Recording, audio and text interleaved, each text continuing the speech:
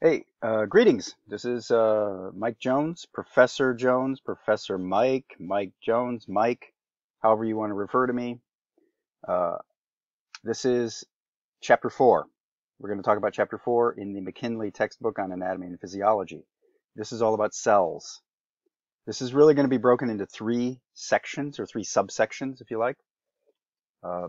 First is we're going to talk about cells, what cells are, and their organelles. They are a system like a body is a system. Your body has kidneys and a heart and lungs and all these separate organs that do something in relation to the, to the whole. Cells themselves are similar to that. They have organelles, smaller organs, if you will, inside a cell that performs specific functions for that cell to keep it alive, to keep it uh, moving, if the case may be, to keep it replicating, as the case may be. Whatever is necessary for the cell to, to live and thrive, it has organelles. But cells themselves are microscopic. You're learning this in lab. They're small. Some of them are bigger than others, but they're all small. I'm going to adjust my camera here. The other thing you should be aware of is that I'm uh, having some really bad allergy issues. And um, so I sound like I'm really stuffed up and my eyes are tearing up like crazy and it's just a horrible allergy day. but we'll press forward. So yeah, cells are the basic units of the body, right? Uh, living things. Certainly eukaryotes. And eukaryotes are are us. Ah, my computer's sending me messages. No, thank you. Not right now. Eukaryotes are what we are. Uh, that means that we have a cell membrane. So that separates the cell from the rest of everything else. And inside that cell is a nucleus, a separate area where we store the DNA that is so essential to uh, maintaining a cell and to doing cellular functions. And we're going to talk all about that in a bit. So cells are small. Now, cells also are very, very specialized. Almost every cell in your body has a very special function, a very special task. Uh, there are what are referred to as undifferentiated cells. Uh, you'll see this thing up here that says cells have to be differentiated. That's a specialized cell. That means the cell has a specific function and it doesn't do the functions of other cells. So your cardiac cells are specific to your heart and your kidney cells are specific to your kidney and they do separate functions because they are differentiated.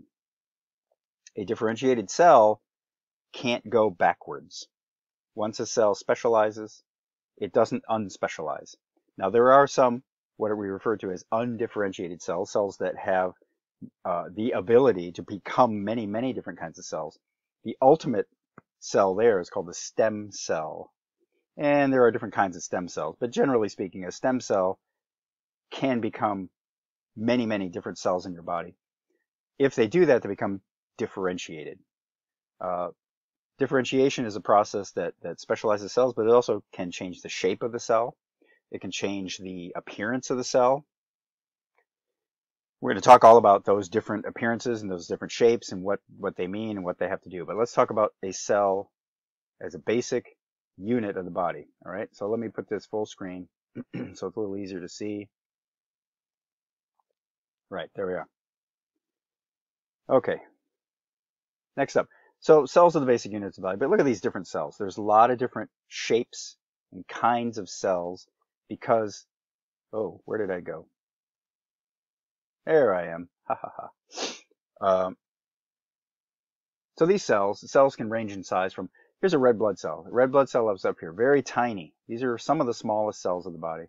Seven and a half micrometers. That means micrometers, one millionth of a meter across. So they're tiny. Uh, versus, say, something like an egg. Uh, uh, we'll learn later in the semester. It's a secondary oocyte. But for our purposes here, we'll call it an egg. An egg cell is up to 140 micrometers long. That is 20 times bigger. And then they take on these weird appearances, right? The nerve cell has these funky little spiky things sticking out of it and long, slender things coming out of it. We're going to talk all about those things. Some cells appear flat in shape, like a sheet. this would be very uh, uh, important in, say, your epidermis and your skin. And then you have this, these are cardiac muscle cells that are strung together in such a way that they will contract together. Uh, so, specialization. every cell, every cell of your body. Um, I'm going to say every cell, and then I'm going to give you a caveat to that description. Uh, but every cell has these three components to it. Mammalian cells. I mean, we're talking about humans because this is a human human anatomy and physiology course, so we're going to focus in on humans. Your your dog and cat and gerbil follow along with the same sort of thing. Uh, three major parts of the cell right? But I'm going to start at the bottom. There's a cell membrane. A cell membrane is vital, absolutely vital. Uh, the next thing is there is fluid inside the cell called cytoplasm. There's more than just fluid, but we'll, we'll say that's predominantly the fluid portion of a cell is cytoplasm. And then there's this thing called a nucleus. A nucleus houses off and separates out the DNA uh, in a eukaryotic cell uh, versus, say, a bacteria. Bacteria don't wall off their DNA from the rest of the cell. So we have to talk about the organelles, and we have to talk about the fluid. The fluid portion of the cell uh, is called cytosol, and we're going to get into these specific definitions next. All right, here's a picture of a cell. This cell, there's no cell actually like this cell anywhere in your body. This cell has every single feature that any cell could ever have. Uh, which means that no cell actually looks like this cell. Now I'll start with the most unique feature here. The most unique feature is this thing up here, a flagellum. A flagellum is only found in one mammalian cell, and that is a sperm cell. A flagellum is a propulsive tail. Uh, it's a way that the sperm cell can move from one point to another point. It works like muscle. There are some similarities to how, to how muscles contract and how a flagellum works, but only one cell. Let me emphasize that. This makes for great test questions. Are you are you writing this down right now? It makes for great, great test questions to say um, all cells have the following things except except a flagellum. There's one cell that has a flagellum, that's a sperm cell. Other than that, there are many other cells that have many of the other attributes that this generic cell has. We're going to talk about a lot of these features in, in more detail, but this is, this is, if you look at all of this stuff, you should be able to name every, uh, every structure that is named on here, on this cell. And they, and it will represent a test question or a potential test question in the future. so let's talk about it a little bit more in detail. First thing, um, a plasma membrane, cell membrane. Uh, a cell membrane is the outer boundary of the cell. That just means uh, the outside of cell is called a membrane, and it separates the inside of the cell from the outside of the cell. And it is not too much to say that this is forms the basis of life itself that cells have to have a separate internal environment from the that is different than the outside environment. And the way it is able to do that is it has a border. And this border is called a cell membrane. Now, the other thing that a cell membrane has to be able to do for a cell is it has to be able to interact with the outside world. It can't just simply separate out the inside world from the outside world, it has to be able to interact with the outside world. And it does so by what doing the having a property that we refer to as selectively permeable. Permeability is a uh, um, you could think of it as a leaky membrane. If something is leaky, it's permeable. If something is not leaky and something and, and, and it creates an impenetrable border, we would call that impermeable. Cell membranes can't be like that. They have to be permeable. But they can only, they only want to allow certain things in and certain things out. And they want to decide what comes in and what goes out. So we refer to that as selectively permeable. So cell membranes in mammals and eukaryotic cells are selectively permeable. Uh, signal transduction simply means we are communicating with the outside world. So if you're in the cell, you have a you have a way to communicate with the outside, and the outside world has a way to communicate with the inside of the cell. That's called sig signal transduction.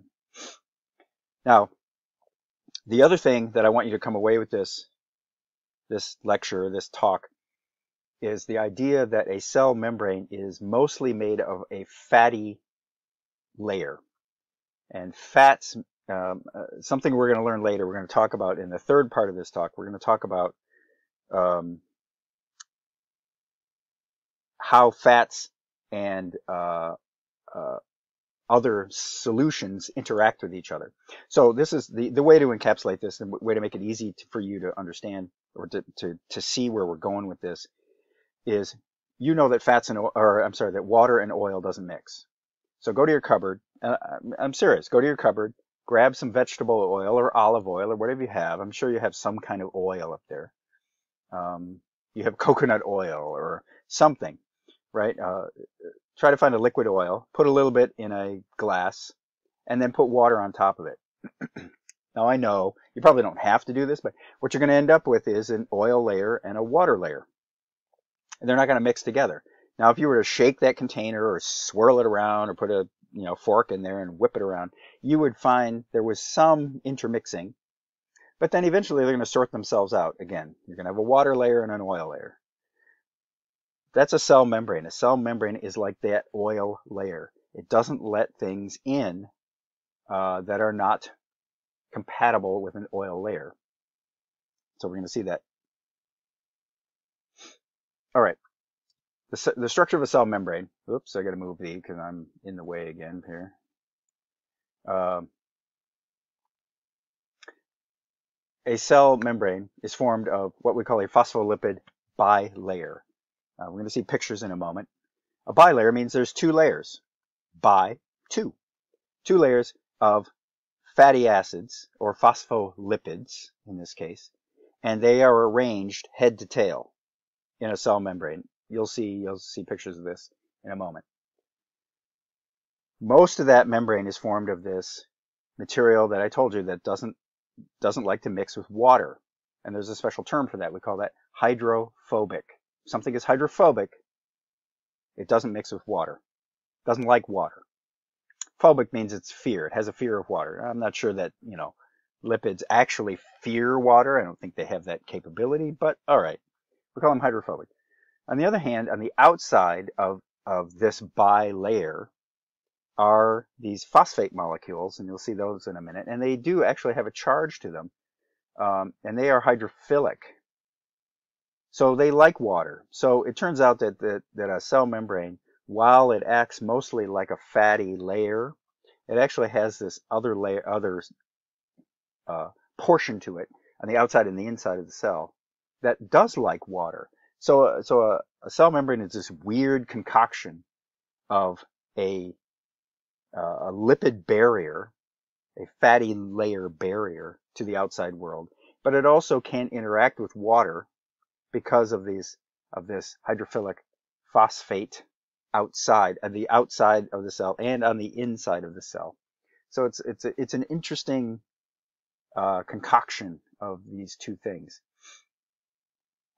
right? So it's permeable to lipid soluble substances. So in the in the in, in the end, what you need to understand is things that are non-polar, non-polar molecules. We just went through this whole part about talking about polar and non-polar molecules. Ions are polar. They are polar molecules. Ions uh, don't like or can't interact with non-polar materials. So most of the cell membrane is non-polar. So if an ion tries to get through a cell membrane, it cannot do that. That means the membrane is selectively permeable, or, or I guess in that case, selectively impermeable to ions. Sodium ion, potassium ion, calcium ion, they cannot get in. unless they are invited in. Remember that because they will be invited in. There are other ways to get them in.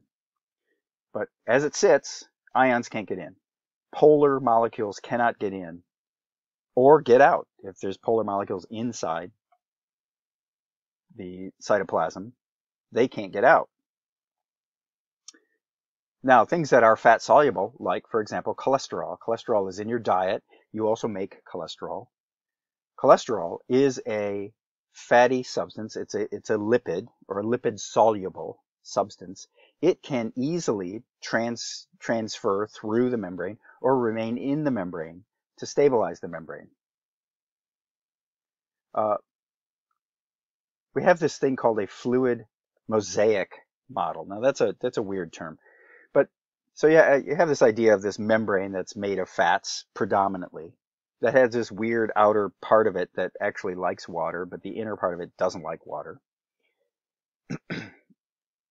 but inside that membrane are proteins. Proteins, so, certain kinds of proteins can float around inside that cell membrane, and they're built in such a way that they can do that. It's an extremely important process or extremely important aspect of cell membranes that you have to understand. That whole idea is called a fluid mosaic model. Meaning you got this fatty, fluidy layer, and there are some proteins that stick inside that membrane and they float around inside that membrane to do special functions of the cell. Some of those special functions are they form pores, or they form channels, or they create receptors, or there are enzymes in that in, in that in those proteins. They identify other molecules that may come around and bump into our into the cell. So let's let's look at that. All right, so we take our basic cell model that we had in a couple slides ago. We enlarge one part of it. We enlarge that part. So now here's the inside of the cell over there. And this is the outside of the cell. So the cell membrane separates inside from outside. That's life itself. I am not kidding you. I am not overstating the case. This is what allows life to exist. The separation from inside to outside. All right, now we're going to magnify that again. We magnify it over here. Here's the inside. Here's the outside. Now what these things look like is they are a head to tail arrangement of a phospholipid. The phospho part is this rounded bit that we call the, the head that round bit. And on the inside is the tail. And the tail is made of long chains of fatty acids.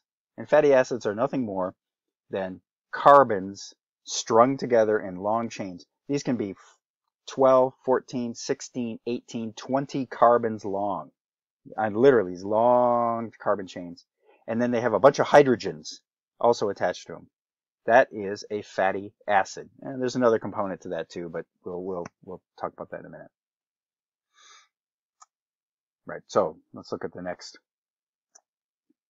Now here's the fluid mosaic thing that I was talking about. Again, here is the, oh, I gotta move me, I'm in the way.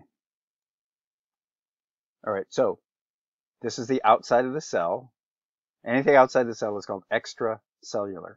Extracellular means outside the cell intracellular or cytoplasmic side. If we're talking about cytoplasm, we're talking about the inside of the cell. Here is the phosphate part, the, all these rounded little balls next to each other, all lined up, all smushed together. And on the inside is the fatty acid tail. Again, this is hydrophobic, so it does not like water. That's why it's on the inside of the membrane. And on the outside, you have the phosphate layer that does like water on the on the outside of the cell and on the inside of the cell, on the face of the inside. All right. And then all these little purple things are supposed to show you proteins that are just floating in that cell membrane.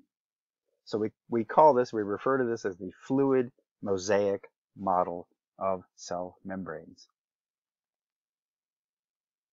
You have proteins that go all the way through. These are called transmembrane. Trans means all the way through. Uh, you can have proteins that are on the just on the inside or just on the outside or go partway through, or go all the way through. See, over here, this protein is forming a channel. It's going to be really, really important that you understand that there are ways to bring in ions, sodium, potassium, calcium, chloride ions, lots of other ions. Uh, there are ways to bring in glucose into the cell. And that's because we have these proteins floating around inside this fluid mosaic model.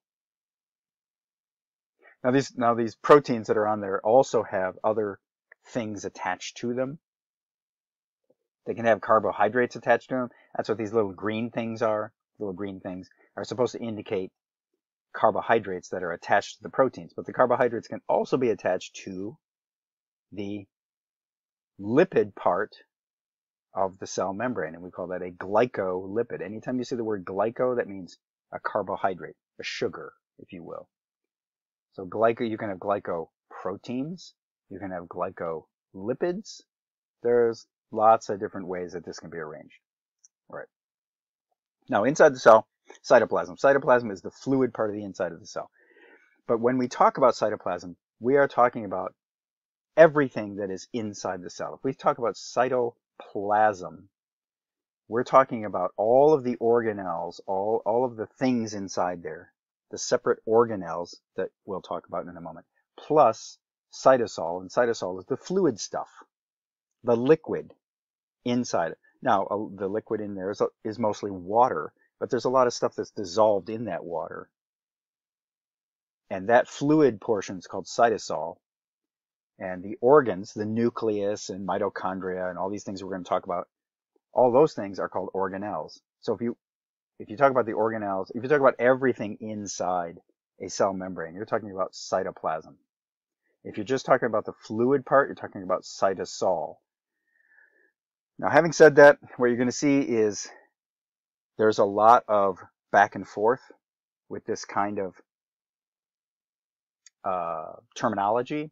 You're going to see where we'll talk about cytoplasm, but what we really mean is cytosol, the fluid part. We'll go back and forth with that. So cytoplasm and cytosol are kind of interchangeable. The organelles are, are the, the organelles. We're, we're going to talk about those things. Inside also, your cells have a skeleton. Just like you have a bony skeleton, so do your cells. Your cells have a cytoskeleton.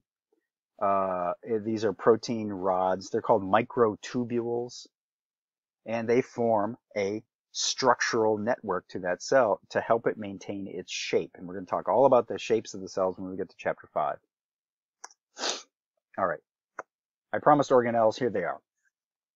Let's start with moving me out of the way again. All right, ribosomes. Ribosomes are structures. Uh, they're fairly small by themselves. I mean, they're large molecules, but as organelles go, they're pretty small. Sometimes they can float freely in the cytoplasm. Sometimes they can be attached to another structure called endoplasmic reticulum, which we'll get to next. Um, pardon me, my throat is bothering me. ribosomes are composed of two things. They're composed of protein and they're composed of RNA. Now we haven't really gotten to RNA very much, but we will. They can be floating around free in the cytoplasm, or they can be attached to this next thing called endoplasmic reticulum. Now, ribosomes are the structure. They're a machine. They're the molecular machine that converts uh, the message from DNA, converts it into a protein. They're the machines that do that. We're going to get to that process. Endoplasmic reticulum are these sacs or canals. You see this big thing here. There's just these folded sheets of a membrane inside the cell. Um, they serve as a transport system. And, we'll, and, and transport, when we, when we say transport, say for example, there's cells in your pancreas that make insulin. Insulin is a protein. Well, the cells that make that would have a lot of endoplasmic reticulum. They would make a lot of that protein and this endoplasmic reticulum would help to uh, uh, encapsulate or, or encircle that insulin that it had made in preparation uh, for sending it out of the cell to the rest of the body. Because insulin can't stay inside the pancreas, it has to get out into the bloodstream. And it's a hormone. This is how it does it. Now, there's two kinds of endoplasmic reticulum. If a ribosome is attached to it, we call that rough endoplasmic reticulum. If there is no ribosome attached to the ER, we call that smooth ER. All right, vesicles. Vesicles are just membranous sacs. They, they are meaning you have a phospholipid bilayer. Ah, yeah, yeah, I gotta move again. Yikes. There's a phospholipid bilayer inside the outer cell membrane, which is a phospholipid bilayer. And you're gonna say, oh my God. Yes, we can have multiple uh, vesicles that have a also have a phospholipid bilayer around them inside the cell. So these are used to transport substances around the either around the cell itself or maybe to the outside of the cell. Uh, the Golgi apparatus, Golgi was named after a guy named Dr. Golgi. Uh, an apparatus, I always love that term. It's an apparatus. Why didn't we call it the Golgi sac? It's, it's actually sometimes called the Golgi body. These are Golgi bodies, Golgi apparatus. These are flattened sacs or flattened uh, uh, membranous sacs that are next to each other. They are used to, I told you about insulin. If your pancreas is making insulin, which it should be, I hope, if you're going to package up the insulin and send it outside the cell, it's going to go through a Golgi apparatus to do that. The Golgi apparatus will create a vesicle around uh, that insulin in that in in that case, and it will transport it to the outer cell membrane, and then it will uh, send out the insulin into the bloodstream, and that's how it does it through rough endoplasmic reticulum, through the Golgi bodies, Golgi apparatus, through the cell membrane of the outer part of the cell, into the bloodstream. Uh, here's an example of an organelle interaction. Now they use milk secretion. That's fine. Um, if this were a, a, mammary gland cell that was in the process of uh, producing milk for an infant, uh, the uh, the code for the protein, for milk proteins, is stored in the DNA. The DNA sends that code out. We're gonna we're gonna learn about how it does that. It sends the code out. Um, the protein is made in endoplasmic reticulum, and then it is transported into the Golgi apparatus, and then vesicles are made with the, with the milk protein in it, and that vesicle goes and attaches to the outer membrane of the cell, and then the milk protein is spewed into the uh, into ducts that go to uh, the child who is suckling at that point. So that's that's what these organelles do uh, to help um, get a protein to the outside of the body. Now, uh, all of the things that I just talked about, all that stuff requires energy. The cell has to have a source of energy and it has to be able to make its own energy. It has to have a power plant. Power plant's mitochondria. These are uh, organs, organelles, that are uh, they are they are a double a double membrane system. So they have an outer membrane, and then on the inside there is another membrane both of these membranes are phospholipid bilayers. It the, the, the main purpose of mitochondria is to produce ATP. ATP is the cell money. You know that from uh, from the last chapter. We talked about how this is produced. ATP is predominantly produced inside mitochondria. Uh, it used to be millions and millions of years ago that mitochondria were their own individual organism living on their own. They were bacteria that lived on their own. And they uh, created a synergistic relationship with mammalian cells, or to create mammalian cells, or to create eukaryotic cells, actually, technically speaking.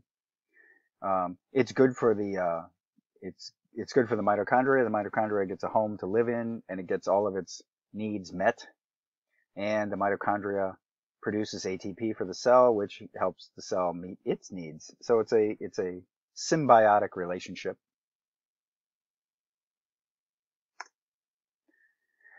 All right. Again, we have other membranous sacs. These are going to be phospholipid bilayers, but inside this particular one called a lysosome, there are enzymes that digest waste products. You can think of these as the garbage uh, production facility or the garbage handling facility inside your cell. Um, macrophages are full of lysosomes. Lysosomes, if a macrophage, and that's a particular kind of white blood cell, if that cell engulfs a bacteria, a lysosome will merge with the bacteria and digest the bacteria into its component pieces and then digest it all and uh, eradicate that bacteria. Um, it also does this for internal cell parts. If there are other cell parts in the body inside that cell that are worn out and need to be replaced or destroyed, a lysosome will do it. Peroxisomes are similar to that. Um, they tend to focus more on things like lipids, alcohol, and hydrogen peroxide. Those are waste products from some parts of metabolism. Um, so lysosomes and peroxisomes both are involved in kind of handling the cell's garbage. All right, um, I, I, mentioned microtubules to you because they're part of the skeletal system that is on the inside of a cell. You have other structures that are called microfilaments. Microfilaments, microtubules will create the internal cell structure. So you're going to see when we get to chapter 5, you're going to see some cells are flat. Some cells look like cubes. Some cells look like big tall wastebaskets that are called columnar cells. Those shapes of those cells are maintained by microfilaments and microtubules. Uh, in addition, uh, microfilaments and microtubules will um, are involved in the re cell reproduction cycle, which is called mitosis. Very, very critical uh, uh process uh, in order to allow this allow uh, DNA to migrate to either end of the new cell and for the cell to split itself. These structures are used in that as well. Uh, speaking of mitosis, a centrosome. Centrosome, it looks like this. Now, this is not, uh, centrosomes come in pairs like this. Um, one centrosome consists of two centrioles. So here's a centriole and here's another centriole. And they're always arranged in this kind of 90 degree pattern where one of them will be, you know, edge on and the other one will be at about 90 degrees to it, a little bit away from it. They're always organized like that. So when they travel through the cell, they travel together. The centrioles travel together um, to do their job. Now when cells are going to go through mitosis. That means when the cell is going to divide, or this is the weird thing where, you know, when we talk about cell multiplication or cell division, we're talking about the same thing, which doesn't work in math. You know that, right? When cells multiply, when you take one cell and you're going to make two cells, we call that multiplication. You're multiplying the cell. But we also call that the cell has to go through this process of cell division, which I know it's a little strange to say that, but for us, for biology, it's one and the same. Uh, this centrosome, which is composed of two centrioles, will double up. So you will get two centrosomes in a cell that is just about to divide, go through a replication cycle. They're composed of microtubules. Uh, they're going to help to get chromosomes, get the, the uh, replicated chromosomes, uh, the same same amount, same number uh, of replicated chromosomes into each daughter cell in the end. Uh, cilia. Cilia are projections that come out of the top of the cell. They are what we refer to as motile. This word motile. That means they can move. They can move on their own. Now they move in a uh, coordinated fashion.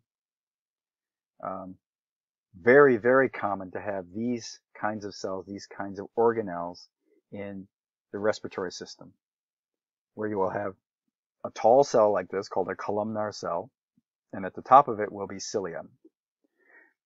And other cells nearby will make um, mucus. Mucus will be spread across the top of the cilia.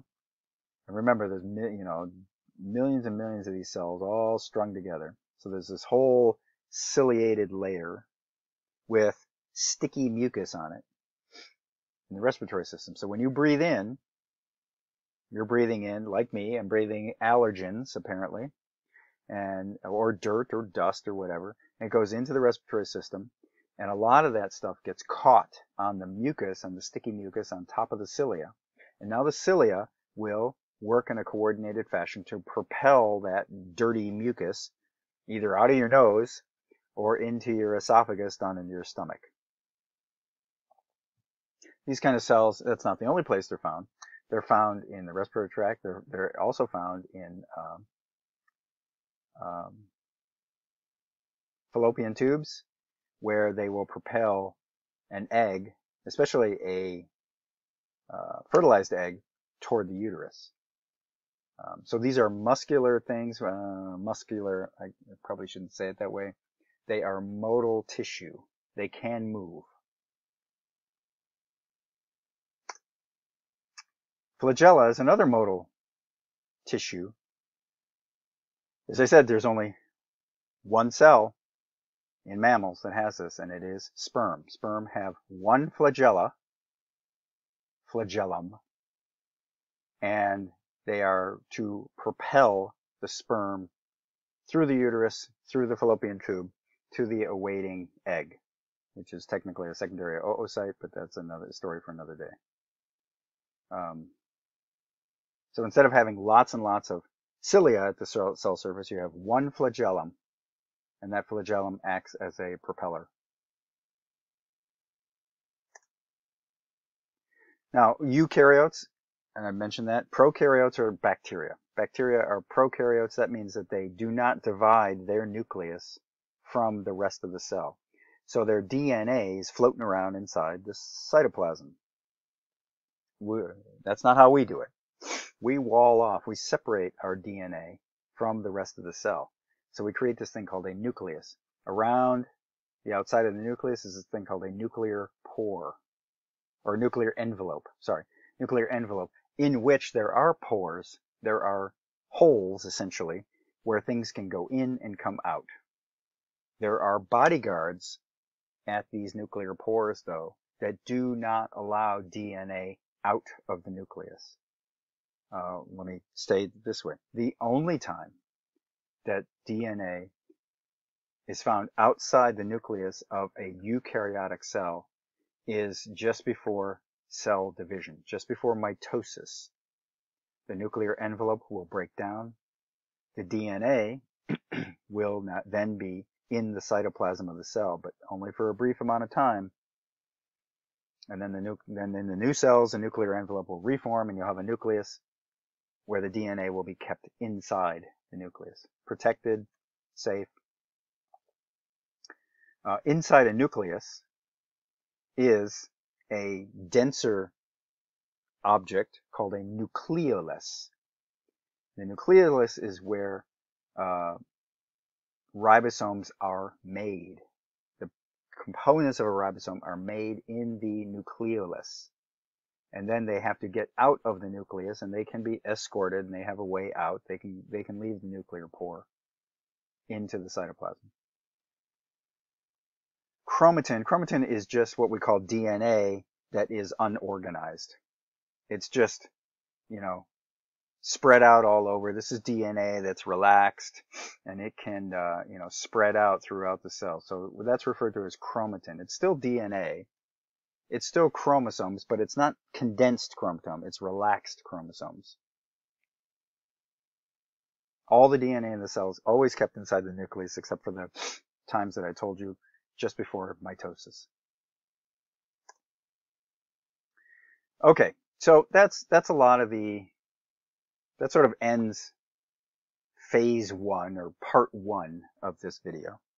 So This is a good time to get up, move around, you know, do some jumping jacks. Um, those are the organelles of importance. There are other organelles, of course. Those are the biggies. Now we're going to get into how do things get into the cell and out of the cell. I told you that the cell membrane, we think of this, I mean, even though it's composed of two bits, part of it is hydrophilic, part of it is hydrophobic.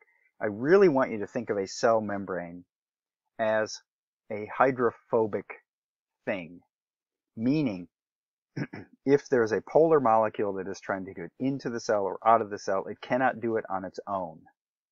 It has to have a hole, a pore, or it has to be transported in or out. If a chemical is uh, hydrophilic, meaning it is fat soluble. So, uh, steroid hormones are fat soluble, cholesterol is fat soluble. Those kinds of things can slip through a cell membrane and they don't have to have a special pore, a special hole drilled into the cell membrane for them to get in and out. Everything else does though. That's why we refer to this as a selectively permeable cell membrane. Okay, there's two ways that you can get things in and out. You can either uh, use energy to do it, and that would be an active process, or you can do it without energy provided. And when I say energy, you've got to think ATP, ATP, ATP, ATP. If I'm going to spend some money, I want to make it worth it. On the other hand, if I don't have to spend any money to get something in or out of my cell, I don't want to spend any money. Cells are pretty frugal. They're pretty cheap. They want to use processes to get things in and out the cheapest way possible. So these are the ways to do it. We're going to go through each one of these in the next few slides. All right. Now you have to understand this process called diffusion. Diffusion is a chemical process. This works for cells. It works for tea. It works for coffee when you put sugar in there. It works for whatever, you know, any fluid that you have ever had. Um, diffusion is a chemical property which takes certain things dissolved in a fluid and spreads them out evenly throughout the fluid. Uh, and it's a natural process. It requires no energy at all. All it requires is, so this, this, what they've done here is they, they this is basically a glass of water, right? It's a beaker of water. They take a sugar cube and drop it in there. Now what this means is the sugar cube in, it is in very, the sugar is in very high concentration where the sugar cube is. But it, but there's no sugar anywhere else. Of course. Now the sugar cube starts to dissolve or a salt tablet. I don't care. Whatever you think of, whatever you want to dissolve in this water. The solvent is water. The solute is the thing that's going to dissolve in the water. So I'm, I'm saying sugar cube, right? The sugar will slowly, the sugar molecules will start to get surrounded by water molecules and it will, we call this dissolving. This is the process that is chemically known as diffusion. Diffusion will continue until all of those sugar molecules are evenly spread throughout this water. Diffusion does not stop. You do the same thing when you spray a, uh, a nice smelling, mm, you know, um, room deodorizer, room freshener, whatever. When you spray that in one part of the room, it will eventually diffuse throughout the whole room. You can, you can speed the process up a little bit. We'll, we'll talk about ways to do that. But that's called diffusion. Diffusion is a natural process. Diffusion applies to all of the things that are in, in, in physiology, all of the things that are dissolved in the water are the things that diffuse. So the take home message here is that solutes, that's the stuff that's dissolved in the water, solutes diffuse. And that's because those molecules move around through the water. All right. You need to understand that because chemically there's another process that we'll get to and we'll, we'll talk about that in the next slide. So now what they've done here is they've taken this whole diffusion idea to another level. you have to read questions like this, and I, I, guarantee you there are test questions that I have that relate to this very topic. First off, we're going to look at the principle of diffusion. Now, this is an important point, and I cannot overemphasize this. This thing that says membrane is, is permeable to both water and solute. Okay, so I put this membrane in there. I have told you it is permeable to both. That means the water can go through the membrane and the solutes can go through the membrane. If that's the case, when I start off, if I just put the solute, so let's say if I put my sugar cube only on side A, if I wait long enough, the sugar cube will dissolve. That becomes the solute. And it will evenly distribute itself across that membrane so that you have an even distribution of sugar on either side of the membrane. But I want to point out something to you. So we already understand the, pr the principles of diffusion. This red thing, which is the sugar in this case, is allowed to cross this membrane. Okay, it will. But also, some of this water will diffuse in the other direction. So both things move because, ah, I want to emphasize this, I want to beat this into your heads because of this statement. The membrane is permeable to both. So both things will move. The water will move and the solute will move.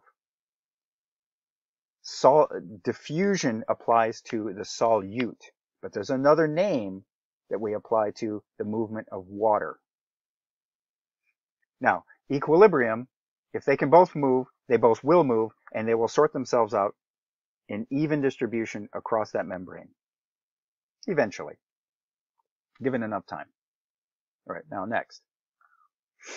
Now, diffusion works on natural principles that require no energy. Diffusion, by definition, means I am moving something from an area of high concentration of that solute to an area of low concentration of that same solute. Sugar cube is a perfect example. High concentration of a sugar cube, it eventually dissolves. It moves from an area of high concentration to an area of low concentration of that same solute. Facilitated diffusion is a way that I can move something through a cell membrane from an area of high concentration to an area of low concentration. This is classic of how you get substances from the outside of a cell to the inside of a cell. So out here, outside of the cell, there is a high concentration of whatever. Sugar, let's say it's sugar, okay? Because we used a sugar cube, we might as well say sugar. Uh, in the body's case, we'll say glucose. Glucose is specific sugar, okay? So we'll say glucose is in high concentration outside the cell membrane, but it's in low concentration on the inside of the cell membrane.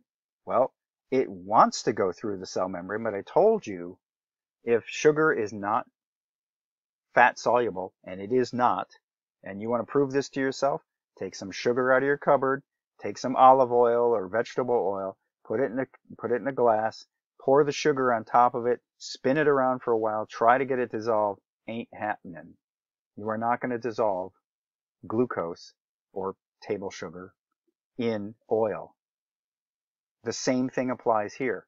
The glucose stays outside, it can't get in. How do you get it in? You allow it in. You give it a channel. So something like this is a protein, and I told you before, there are transmembrane proteins. Proteins that sit inside the membrane, that span the membrane, and they are specific to allow glucose. There are other ones that allow sodium ions. There are other ones that allow potassium ions. There are other ones that allow chloride ions. All, there, there's all kinds of proteins that are specific to allow these solutes to travel from outside to inside or inside to outside. But they're going to follow their concentration gradient, which is why they are a passive process. Facilitated diffusion does not require ATP, no energy. All right, now I told you a solute can move. That's the thing that's dissolved in water. We just saw that, right? Sugar can move across the membrane if it's allowed. Any, anything dissolved in water will evenly distribute itself throughout the water given enough time. But remember I said too that water can also move.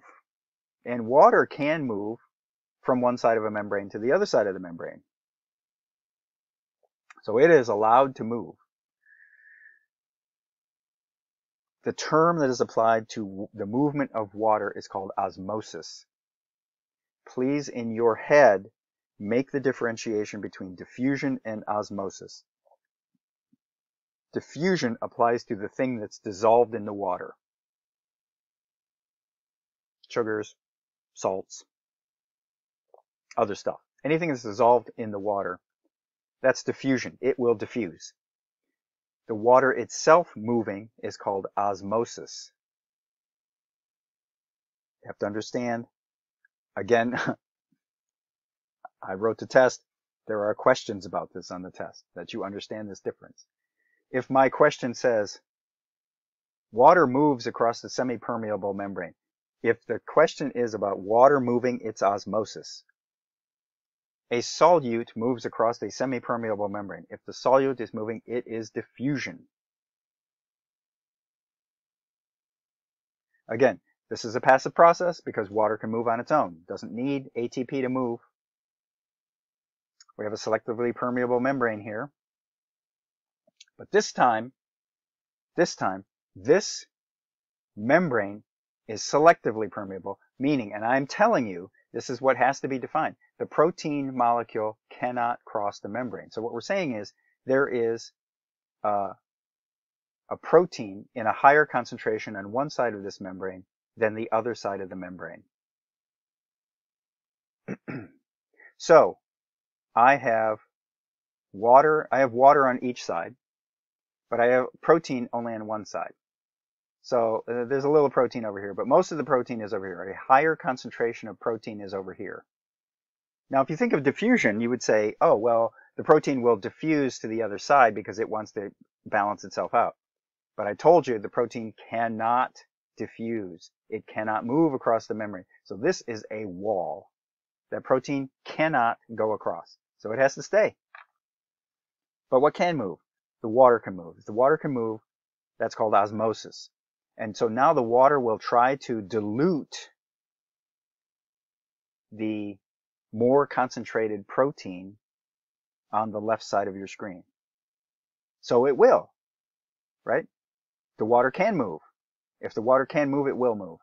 So it's going to move across from side B to side A, and it is going to try to dilute or even out the concentrations of protein on either side of that membrane. It's going to try. Whether it can or not depends on how concentrated things are. But it's going to try to do it, which means you're going to end up with more water on this side. Yes, this is actually what happens. You would say, how can I possibly have more water over here and less water over here? It is because the water can move by osmosis and it will try to dilute the more concentrated protein on side A. Now you got to give it some time to do that. No ATP, passive process.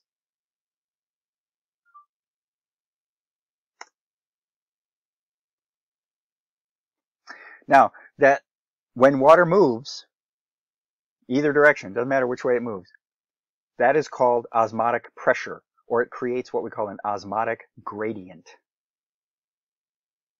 So osmotic pressure is the movement of water through a semi-permeable membrane.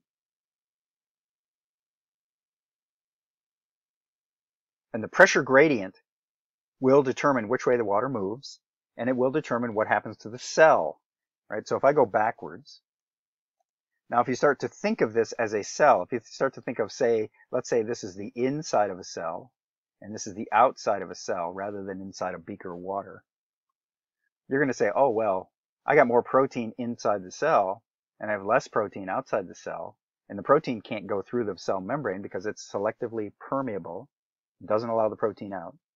So now my water wants to move in. Or you could imagine a situation in reverse, where the water would want to move out. Yes, you are thinking correctly. This is exactly right. Water will move in or move out depending on its osmotic gradient. And that creates what we call osmotic pressure. So, what does that mean? These are red blood cells. This is a normally shaped red blood cell up here in, uh, in, in uh, box A. Now, red blood cells are weird shaped anyway. They're called biconcave discs. But this in A, this is a normal looking red blood cell.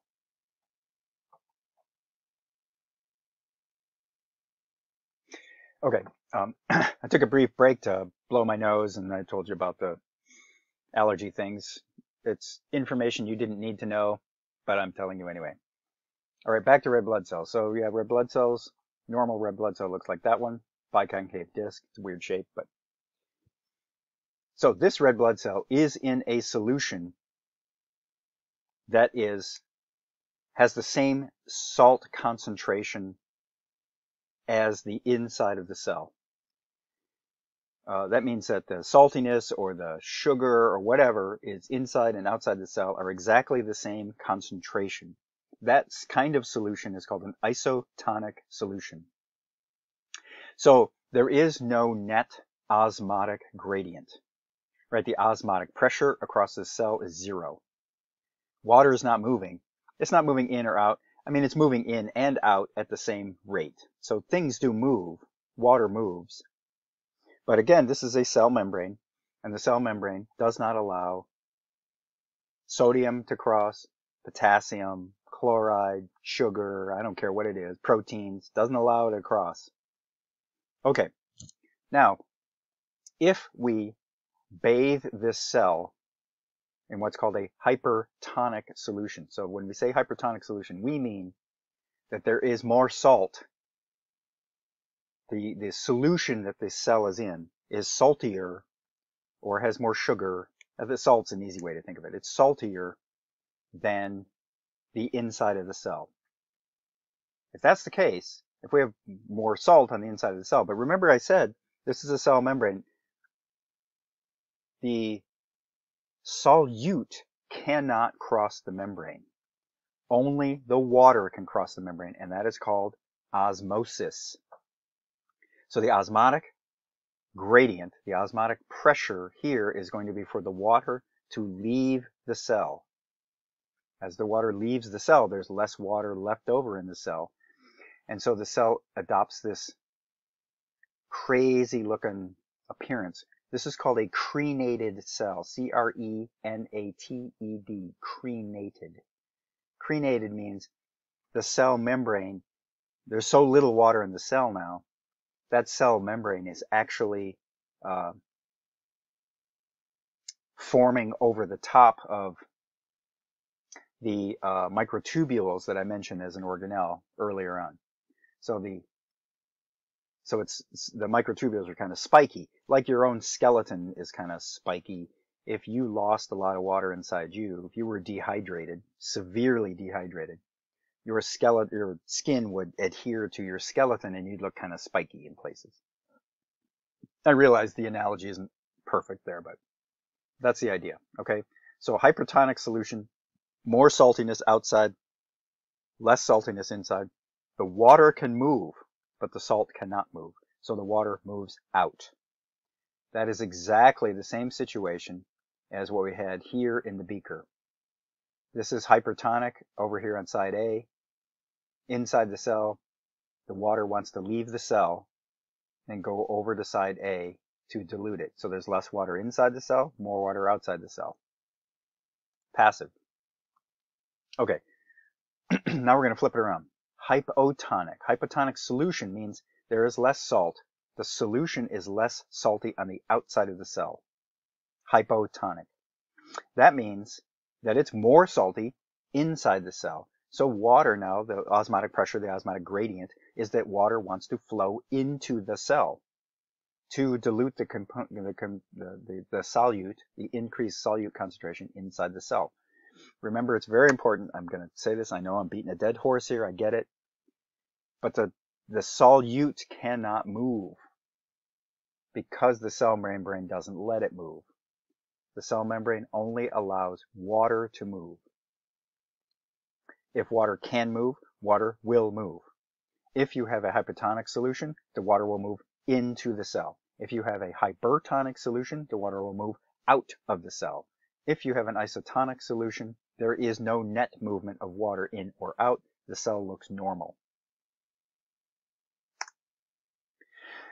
Okay, the last passive process that we have to go through is this thing called filtration. Now you're used to filtration. You, if you, you make coffee, if you've ever made coffee in a coffee maker, right, you got a filter and uh, you put coffee in it and the water gets heated up and it gets poured through the, the filter onto the coffee. The coffee grounds stay behind. The water and the um, coffee flavor, whatever comes through into the coffee, um, that's what ends up in your glass, right? You filtered the coffee granules out of the coffee. Same process here. Uh, the only problem is in in human beings, we don't gravity is not the force that causes filtration in our bodies. Uh, the filtra filtration in our bodies is caused from what we call hydrostatic pressure. Hydrostatic pressure is the pressure that your heart creates in your blood vessels. When your heart pumps, it pushes. And it pushes with a certain amount of force. And it pushes hard enough that it some of the stuff in your blood can push through the walls of the capillaries. You need that because the stuff that gets pushed out is usually nutrient stuff, right? You need sugars, you need proteins, you need fats, you need these things to get into the cells that are surrounding a capillary. So it, it requires a certain amount of push from your heart to do that. But it's still, the process is still called filtration. Again, it's a passive process, doesn't require any energy. All right, next up. Now we get into the active processes. So when we're talking about active processes, what we really mean here is now we want to go against the gradient. We have to force things either into cells or out of cells that wouldn't naturally go in or out either by any of those other processes that we just talked about. If we have to move something against a concentration gradient, then you need active processes, and that means you need to use ATP. So, if I'm going to move anything across the cell membrane that is already in high concentration, either outside the cell or inside the cell, I have to push it. And a push means I need energy to push it. So a classic one is sodium will be in a certain concentration inside and outside the cell. Well, I want more sodium outside the cell, and there are reasons for this. We'll get to that. But if I want to push it out against the concentration gradient, I have to put energy into it, and that process is called active transport. Active transport against a concentration gradient. Next up, another process that I can get things out of a cell with energy is I can, I'm sorry, I'm sorry, endo, I'm, I'm sorry, exocytosis is the next one. Endocytosis is bringing something into the cell, sorry, using energy. So if I have something outside the cell that I want to bring into my cell, I need to move it in. I can put a membrane around it. So this is, think of a, a, a white blood cell engulfing a bacterium. If it engulfs, engulfs the bacterium, it's going to put it inside a vesicle. And we'll say if this is a lysosome, if there are lysosomes, there, there'll be enzymes inside that vesicle that will destroy this particle. So that is called endocytosis. I'm bringing something into the cell, from outside to inside, by circling around it, putting some cell membrane around it, and bringing it into the cell. There are actually different ways to do this, and depending on the substance that you're bringing into the cell. If you're bringing in, now this is weird, if you're bringing in droplets of a liquid, this is sometimes how cells actually bring water into the cell, which is kind of an odd thought process. But there are other substances, other chemicals, other fluids that it will bring in. If it brings in a fluid, a liquid of some sort, that is called pinocytosis. Now, if I'm bringing in something bigger, a solid particle like a bacteria or a protein, that's called phagocytosis. So phago means to eat. And pino means, as you might imagine, means to drink. All right, so if my cell is drinking, it's pinocytosis. If my cell is eating something, it's called phagocytosis. There's a third way, this thing called receptor-mediated endocytosis. This is a bunch of big words. It means that I have a receptor, and a receptor is something, uh, it's kind of like, uh, you have to think of a, a, uh, a radio. I know that's a little old-fashioned, you know, but if you have a radio, you can tune the radio to a specific radio frequency, right? So I want to listen to, let's say I want to listen to some radio station, and I have to dial the radio to that particular frequency, and then I can hear that radio station. Your cells are kind of like that too. On the outside of the cell, it will have a receptor that is specific for a particular molecule. Not any other molecule, just one special molecule. Once it finds that molecule, that molecule will bind to the receptor and then the cell will bring in whatever is bound to the receptor into the cell. That specific thing, not just like any old bacteria, not just like any old protein or any old drop of liquid, a very specific chemical. So that's called receptor mediated endocytosis. Specific things bind to the receptors. Once they bind, then the cell brings it inside. So there's a picture of that. if I have down here is receptor mediated endocytosis. So I have a receptor. So we, they, they show you that by having this little purpley thing. And the purpley thing only binds to the red molecules here, but not to the green ones and not to the yellow ones. So when it binds to the red ones, it is brought into the cell, endocytosis. We would say it's engulfed by the cell, but it's a specific molecule. Whereas up here, you have any old bacteria or any old, you know, thing that you want to bring into the cell, non-specific. Right. Now, endocytosis is bringing something into the cell. Exocytosis is spitting it out of the cell. I gave you the example earlier of insulin. This is how insulin gets out of the cell. The cell makes a bunch of insulin, packages it up in a vesicle, and then spits it out. But that takes energy. So it has to be worth it for the cell to do that. Another good example is neurotransmitters. Neurotransmitters are made by nerve cells, and they are packaged in vesicles. And then when you want to send the neurotransmitter out of the cell, you do it by exocytosis. Very common. Takes energy. There's one more one more way that takes energy, but that you can move things through a cell against the concentration gradient. That is called transcytosis. transcytosis is simply moving something from one side of a cell to the other side of the cell, bringing it in on one side of the cell, spitting it out on the other side of the cell. So it's both endocytosis on one side and exocytosis on the other side. Both of these require energy. Uh, they use the example here of moving a virus. This is called the human immunodeficiency virus, HIV, that causes a disease called AIDS, acquired immune deficiency syndrome.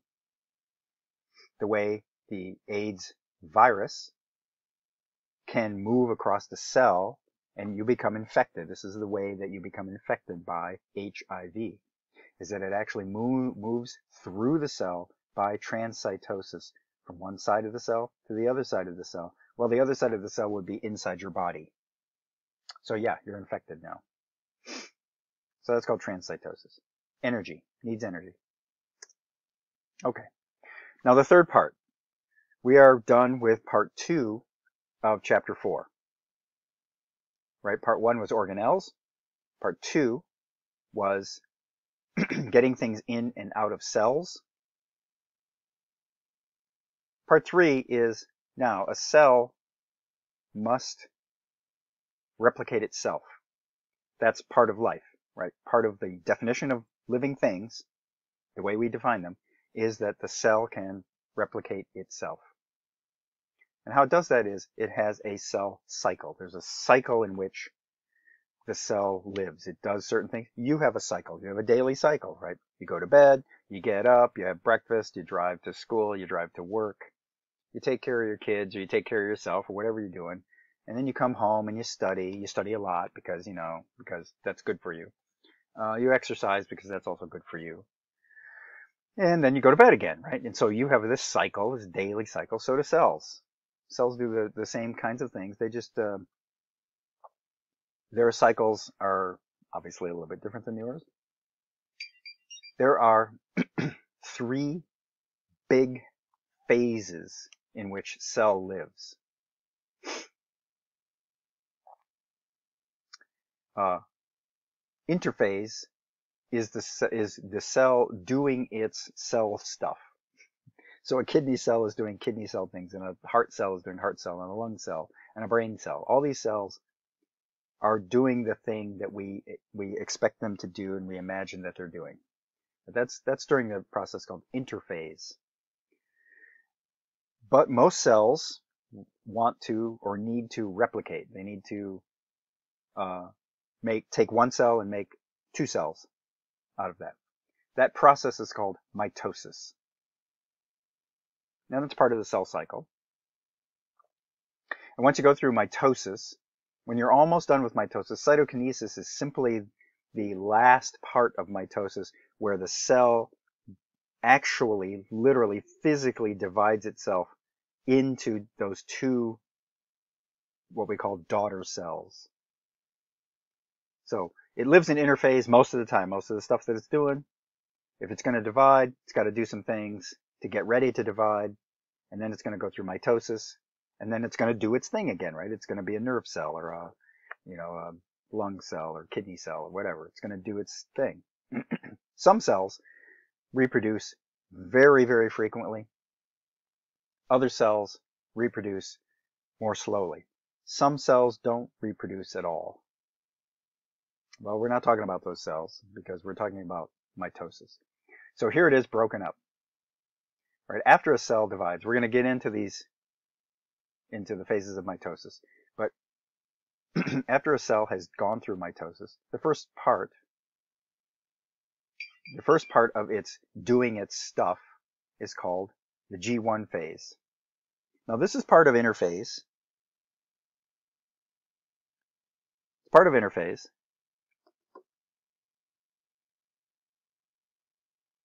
But this is it doing its stuff. So your kidney cell and your heart cell are doing heart and kidney cell things. And they don't divide when they're doing that stuff. And they're kept in check, which, call which is called a restriction point. They're held here in G1 while they're doing their thing. But if you need more of these cells, for whatever reason, whatever stimulus there is to make more of these cells, uh, the next part of that is called S phase. S phase is where your DNA is doubled. if you're going to have two cells, you got to have twice as much of everything, right? So DNA in particular has to be uh, replicated, and it has to be replicated exactly right, exactly correctly. That happens during the S phase.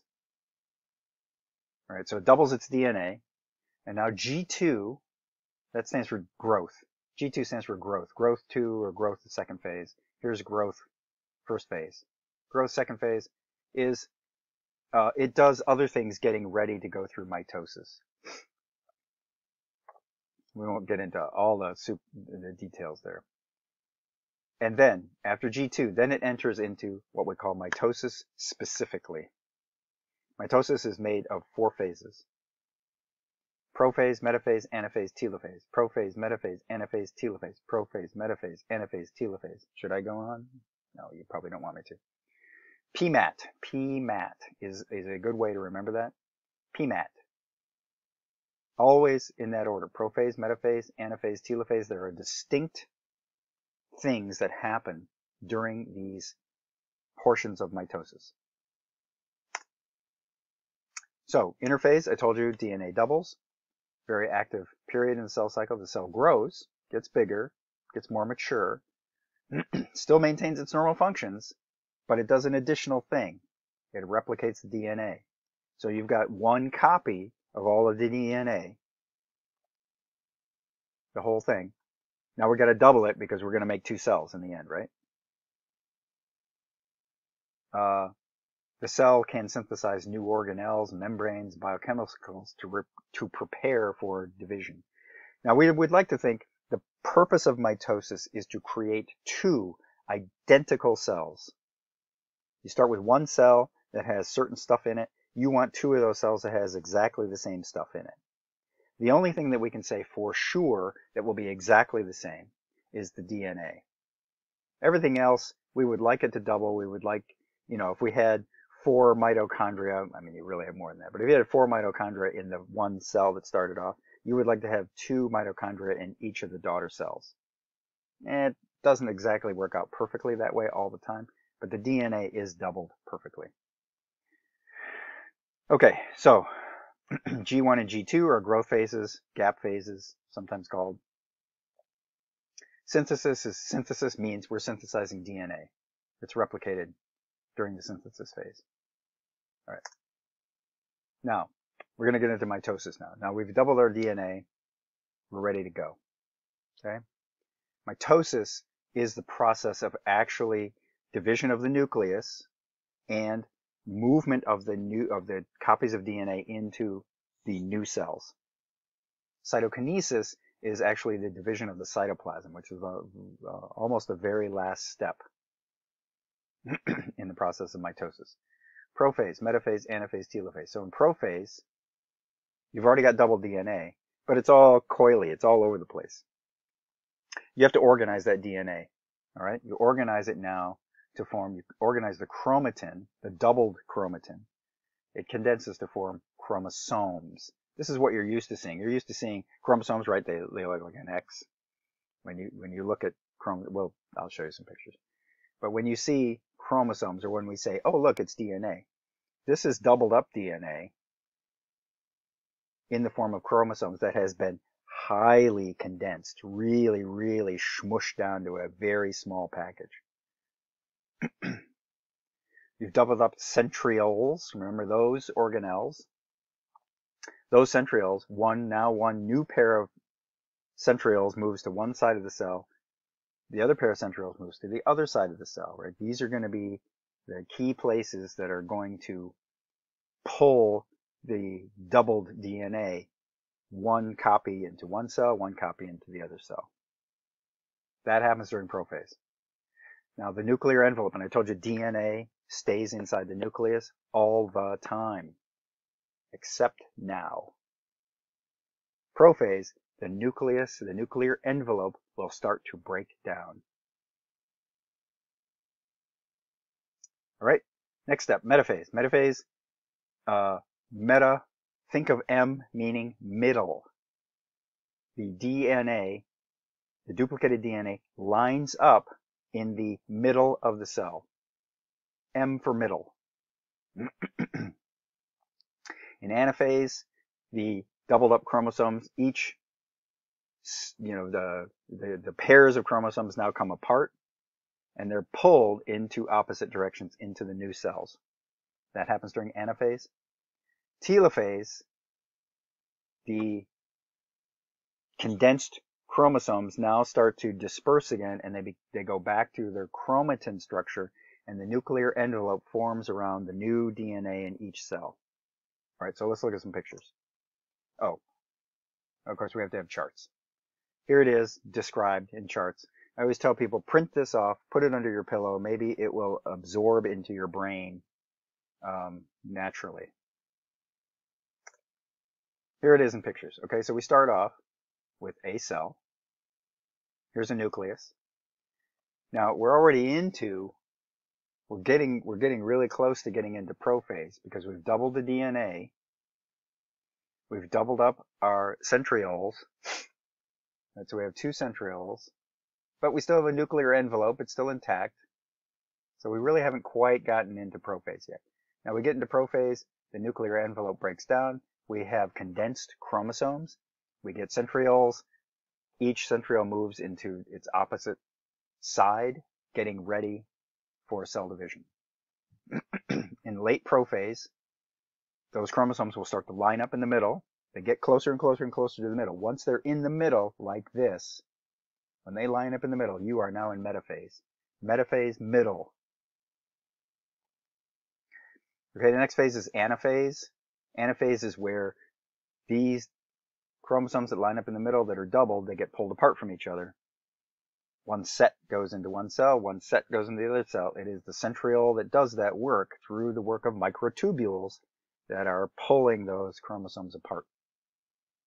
See, then you get uh, one copy of the chromosomes in one cell, the other copy of the chromosomes is in the other cell. Now you're getting into uh, you're in anaphase here. You haven't quite gotten to telophase, but you're getting close. Now telophase starts to form that new nuclear membrane. Here's the centromeres, or, sorry, the centrioles in each side of the cell. And now you're going to get this thing we call a cleavage furrow. That is the kicker for cytokinesis when we are dividing the plasma, the cytoplasm, into two. That's called cytokinesis. Once cytokinesis is done, now you have two identical cells where you had one when you start it off. That's the point of mitosis. Two identical cells in every possible way, as close to perfectly doubled as you can possibly get. So you have PMAT, P, M, A, T. now they're in interphase. Off they go again. That's it in a nutshell. Cytoplasmic division, cytokinesis. That's the last part when you start to get that cleavage furrow in, on, in the middle of these two new cells. That is cytokinesis. There's a ring of actin filaments that grabs around, pinches around the middle of this thing, and literally squeezes it down. Last step. And you get two identical cells. We're all done. That's it. And speaking of all done, we're all done. This, I think this is the last slide in this, in this thing. So we've been through the three things, the three big things that you have to understand about chapter four. Organelles. Cellular organelles. What their purpose is, how they work. What do they do? Not all cells have all organelles in the same quantity. Number two, uh, we talked about how things get in and out of cells. There are active processes and passive processes. Water can move. If water moves, it's called osmosis. If solutes move, the things that are dissolved in water, if they move, that's called diffusion. You can have active or passive processes there. You can review those. Third thing in, in here is mitosis. How does mitosis work? What are the phases of mitosis? and that is incorporated into something called the cell cycle. That is the end of chapter four. I may um, put some other videos up related to chapter four. Um, yeah, actually, there's actually there's another there's another part of chapter four that I have to get into, which is RNA and DNA. Oh, hello, my dog just showed up. RNA and DNA and protein synthesis, and I will do that on another video. So thanks for your patience. Uh, I'll see you on the next video.